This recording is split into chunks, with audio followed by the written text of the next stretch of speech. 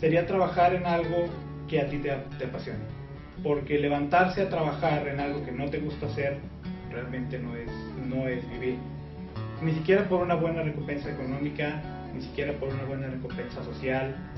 Lo que hace que una persona sea feliz es que haga lo que le gusta. Cuando uno tiene esa pasión por hacer algo, siempre salen las oportunidades, siempre salen los espacios para uno. Porque estoy seguro que pues yo ni como nadie quisiera trabajar en algo que no le gusta hacer.